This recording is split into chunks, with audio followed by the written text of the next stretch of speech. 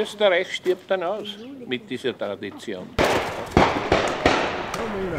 Was? Das war meiner. Einer was? Vergib uns unsere Schuld, wie auch wir vergeben unseren Schuldigen. Man muss halt im Gebet halt auch ein bisschen vertrauen und auf Gott vertrauen, dass es nicht äh, ganz schlecht wird, wie es halt in den Kriegsjahren war. Das hoffe ich, dass das, dass das nicht kommt. Das war ganz furchtbar und ganz bitter, wenn so eine Zeit nur mehr kommen darf. Solange was der eine hinter bohrt, die Schüssel, der gibt dir keine Ruhe nicht. Ja, Das ist, das ist einer so ein Querulant, der was bohrt. Dankeschön. Danke. So, dann. Dankeschön. Wiederschauen, danke.